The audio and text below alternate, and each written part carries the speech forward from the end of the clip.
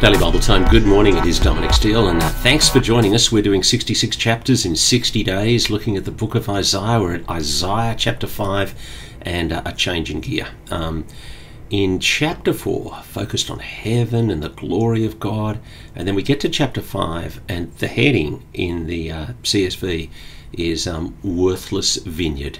And we are back on the theme of judgment and disappointment, and it is a really from the heights down to the depths. And uh, the commentator Barry Webb suggests that the prophet Isaiah is aiming to get a hearing for his unpleasant message. And so he presents himself as a minstrel and beguiles his unsuspecting audience with song. So he says, chapter 5, verse 1 I will sing about the one I love, a song about my loved one's vineyard.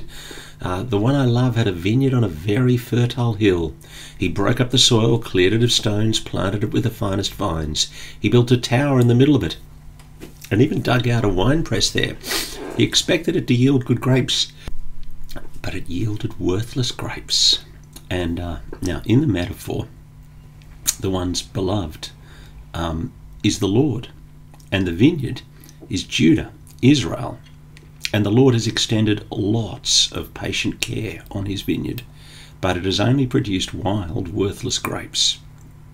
So now, residents of Jerusalem, verse 3, and men of Judah, please judge between me and my vineyard. Verse 4 What more could I have done for my vineyard than I did? Why then, I expected a yield of good grapes, did it yield worthless grapes? Now I'll tell you what I'm about to do to my vineyard. I'll remove its hedge, and it'll be consumed. I'll tear down its wall, and it'll be trampled. Now, the Lord would have been fully justified in removing the protective wall of the vineyard and abandoning it. Verse 6 I'll make it a wasteland. It will not be pruned or weeded. Thorns and briars will grow up. I'll also give orders to the clouds that rain should not fall on it. For the vineyard of the Lord of armies is the house of Israel and the men of Judah, the plant he delighted in. Now look at the last line. He expected justice but saw injustice. He expected righteousness but heard cries of despair. Now, Barry Webb points out the demand for social justice, that's a basic covenant obligation. And this demand is succinctly and forcefully presented here. And so we come to judgment. And there are six woes from verse 8 onwards. Um, and they're spelling out the bad fruit that is described in verses 2 through 4 first greedy land grabbing. Um, woe to those who add house to house and join field to field until there's no more room and you alone are left in the land. Verse 9 I heard the Lord of armies say, Indeed, many houses will become desolate, grand, and lovely ones without inhabitants. For a ten acre vineyard will yield only six gallons of wine, and ten bushels of seed will yield only one bushel of grain. Second woe is for debauchery. Woe to those who rise early in the morning in the pursuit of beer, who linger into the evening inflamed by wine. At their feasts they have lyre, harp, tambourine, flute, and wine. They do not perceive the Lord's actions, they do not see the work of his hands. Um, it's just debauchery. We get to the third woe, verse 18 Woe to those who drag iniquity with cords of deceit and pull sin, sin along with cart ropes.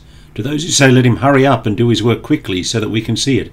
Let the plan of the Holy One of Israel take place so we can know it. There's an arrogant defiance of God. Fourth woe is for what Barry Webb calls justifying sophistry. Woe to those who call evil good and good evil, who substitute darkness for light and light for, light for darkness, who substitute bitter for sweet and sweet for bitter. Woe to those who consider themselves wise and judge themselves clever. Now, I'm just going to pause on this one. Woe to those who call evil good and good evil. Verse 20. Um, it is really clear that in our era this is a challenge. For on issues of sexuality, there are a lot of people today who are looking at what God has called good and what God has called evil, and there is a woe here to those who would change the teaching of God, who would mislabel the teaching of God. And it is a concern in the Australian Church, in the Australian Anglican Church, that the Anglican Archbishop of Perth has been prepared to ordain a man to holy orders who had children out of wedlock and only married his wife just a couple of months before the ordination service.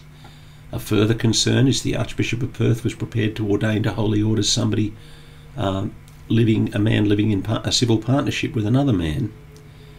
And so I read this verse, Isaiah 5, verse 20 Woe to the Anglican Archbishop of Perth. And there's been a similar problem in the Anglican Church in Albury Wodonga, where a minister has blessed a same sex union. And, um, and so we have a challenge to the rest of the Australian Anglican Church. We've got a moment where what's the rest of the church going to say to the Perth Arch- Archbishop? What's the rest of the church going to say to the minister in Albury? Will the rest of the church join those ministers in their sophistry?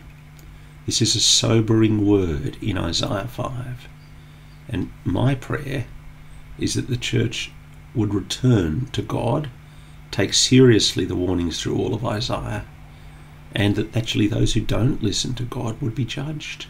Heavenly Father, we pray that we would take seriously this warning of judgment in all the different areas of chapter 5.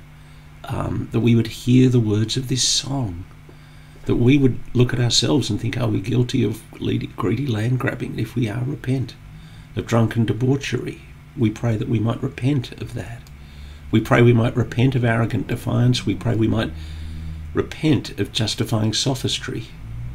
We pray we would not call good what God calls evil.